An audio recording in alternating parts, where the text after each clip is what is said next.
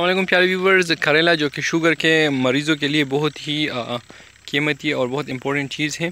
आज हम इसके प्लांट का विज़िट करेंगे और आपको दिखाएँगे कि इसकी प्लांट हम कितनी जगह पे उगा सकते हैं और इसके लिए कौन कौन सी चीज़ें अहम होती हैं। तो सबसे पहले करेले के लिए जैसे कि आपको नज़र आ रहा है, ये हमारा छोटा सा गार्डन है, जो कि कम से कम तीस फुट पे है।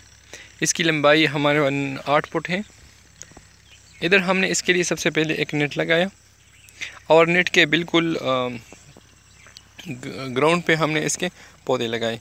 ये पौधे जो आपको नज़र आ रहे हैं, ये दो महीने पुराने प्लांट से अभी इसका ये वक्त आया है कि इसने अभी वेजिटेबल देना शुरू किया है। ये जैसे कि आपको नज़र आ रहा है, असल चीज़ करेले के प्लांट में ये होता है।